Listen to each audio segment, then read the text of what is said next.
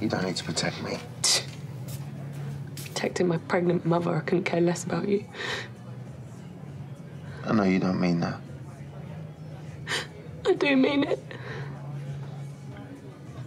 Made your decision.